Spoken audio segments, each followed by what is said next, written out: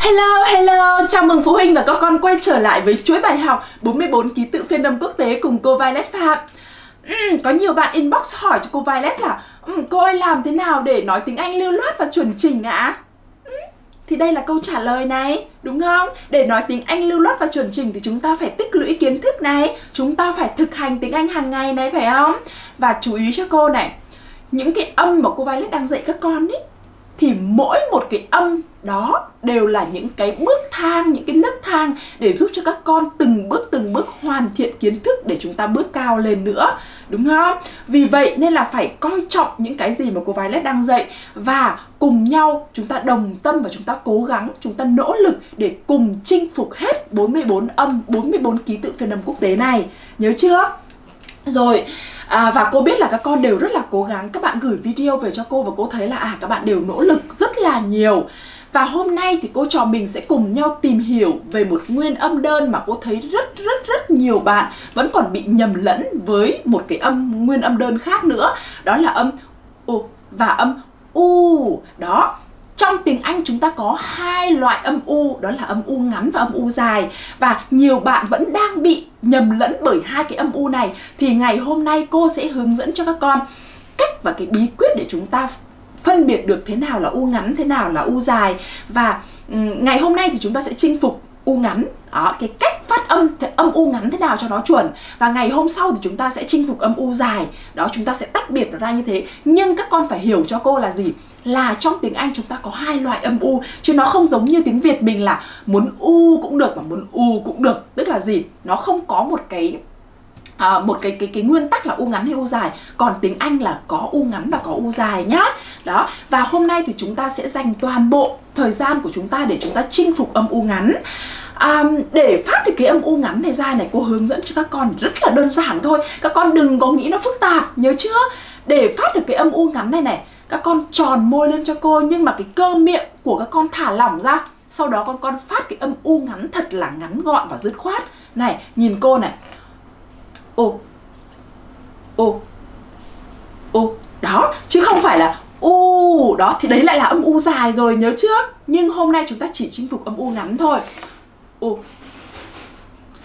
u u đó, các con nhìn theo cô và các con làm theo cô nhé nhìn miệng cô và làm theo cô nào.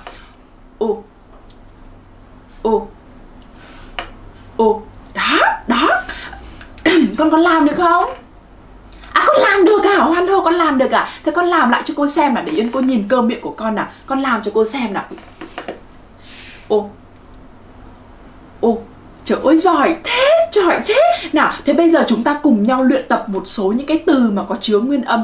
Ồ này nhá, để chúng ta thấy rằng là à thực ra chả khó tí nào, phải không? Chẳng qua là chúng ta chưa biết thôi, còn bây giờ chúng ta biết rồi. Chúng ta biết là tiếng anh là có âm u ngắn và âm u dài. Bây giờ chúng ta chinh phục âm u ngắn. Ok, con sẵn sàng chưa? À sẵn sàng rồi ạ. À? Hoàn Hồ giỏi quá cơ.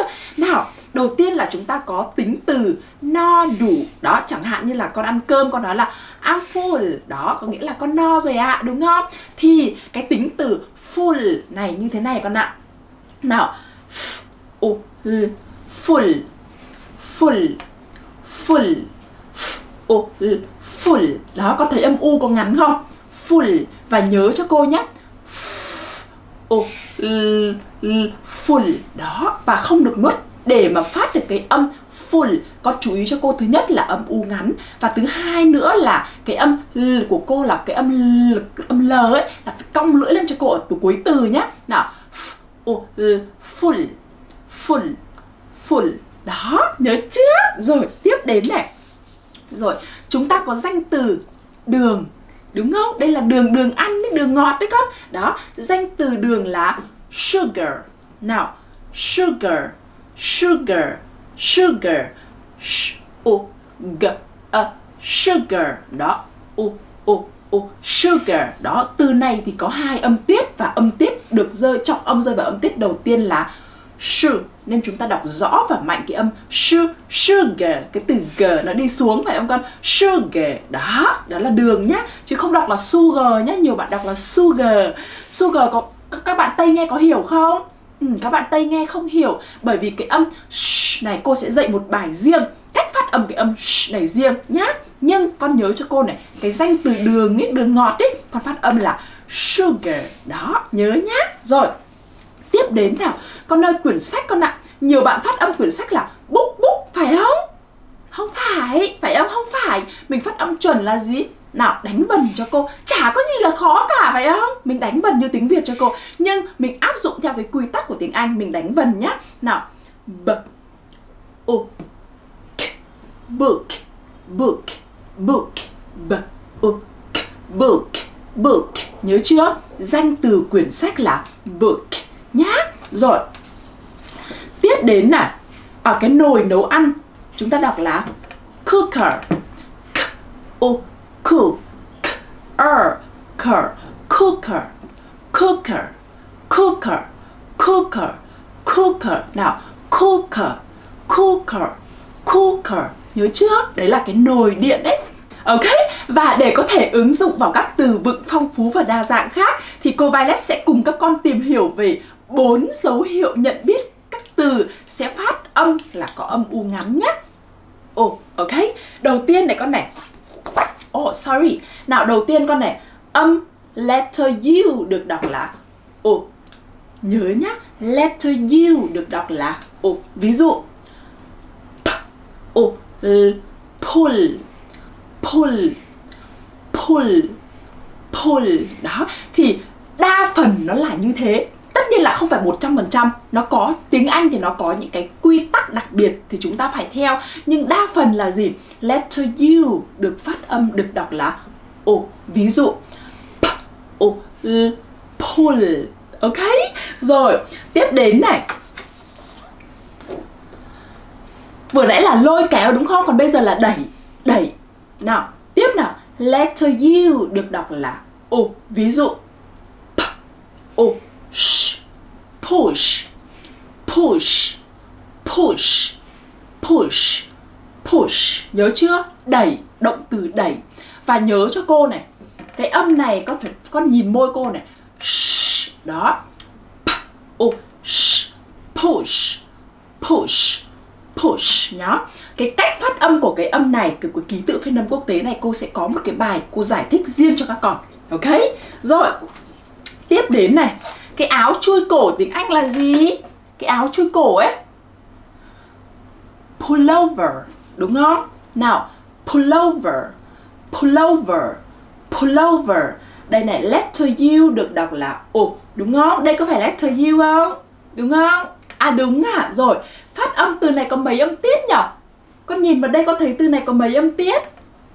Có ba âm tiết à? Trời ơi con giỏi thế Đúng rồi có ba âm tiết liền đúng không? Có ba âm tiết Bây giờ sao? Mình đánh vần từng âm một thôi Đúng không? Mình đánh vần từng âm một cho cô nhé Nhé Ok ờ, con giỏi quá Nào P, ô Nhớ cho cô là U ngắn nhá P, ô P Đúng không?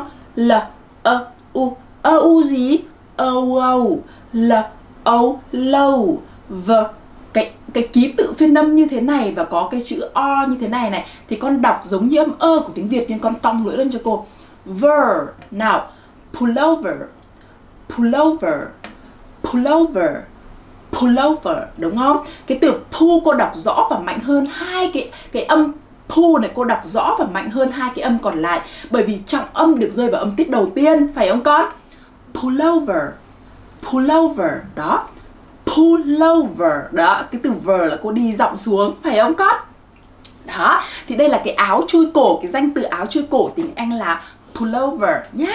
Tiếp đến này, letter u được đọc là u, nào, p, u, t, put put put put. Được chưa? Nhớ chưa? À nhớ rồi ạ à. trời ơi, giỏi thế. Đây là động từ đặt hoặc để cái gì xuống nhá, thì đọc là put. Ok, và đó là một trong bốn những cái dấu hiệu mà cô Violet vừa chia sẻ với các con là à nếu như letter U um, mà ở trong một từ ấy thì có thể được đọc là ừ, ừ ngắn đúng không? Và bây giờ có một cái dấu hiệu này nữa mà cô nghĩ là các con phải lấy giấy bút và ghi nhanh ghi nhanh cho cô bởi vì là à, cái dấu hiệu này được cô thấy là dùng rất là phổ biến luôn và áp dụng với rất rất rất nhiều từ tiếng Anh luôn, ok? Đó là gì? Nhóm chữ cái âu âu thường được phát âm là ồ bây giờ cô vai lấy ví dụ cho con thấy nhé để con thấy con con nhìn thấy cái cái cái cái cái, cái thực tế luôn nhá. Rồi ok này ví dụ này bàn chân danh từ bàn chân các con đọc là gì? Foot foot foot foot. Đúng không? Đúng không? Thì mình cứ theo quy tắc thôi đúng không? Con thấy này. F double O T. Đúng không? Thì là double O ở đây được phát âm là Oat foot đúng không? Trời ơi quá giỏi luôn. Nào double O được đọc là U. Cook. Cook. Cook. Cook. Nào trong một từ đây là động từ nấu ăn đúng không? Con nhìn thế này động từ nấu ăn này có chứa double o phải không? Thì double o trong cái từ này được phát âm là u. U cook. Cook cook cook. Đúng không? Ừ, giỏi quá rồi, tiếp nào. Chúng ta có động từ nhìn. Nhìn nào. L. Look look look look look look đúng không? K.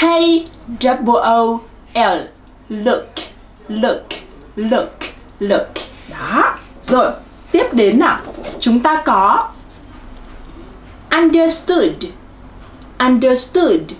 Understood understood. Understood. Understood. Động từ hiểu. Đó, quá khứ của understand đúng không? Understood là hiểu. Nào understood stood stood stood. Có phải double O đứng ở đây không? Thì được phiên âm là u ngắn. Ồ ok. Đó có thấy có thấy thú vị không? Có thấy thú vị không? À có thấy thú vị à? Ok. Và bây giờ thì không phải chờ nữa Cô Vai sẽ tiếp tục giới thiệu với các con Một cái dấu hiệu mà các con nhận biết âm u ngắn nữa nhá. Đó là nhóm chữ cái O, U. Ok. Nếu như các con thấy trong một từ có nhóm chữ cái O, U này Thì con phát âm là U. U ngắn cho cô nhé Ví dụ nào. Cô lấy ví dụ nào. Chúng ta có động từ should. Should should should should, đúng không? Trong cái từ should, letter S H O U L D, con có thấy, có con có thấy nhóm chữ cái O U không? Con thấy chưa? À con thấy rồi à đâu ấy nhở? Đây, đúng rồi, đây, phải không con? Đúng rồi, và nhóm chữ cái O U này được phát âm là u u ngắn phải không? Rồi, should should should should. Được chưa? À dễ quá à con dễ đúng không? À đúng rồi, dễ quá cơ. Rồi, tiếp đến này. Chúng ta có would would would would. Ok, nào, w, o u l, d, đúng không? Chúng ta, trong từ này chúng ta có nhóm chữ cái gì?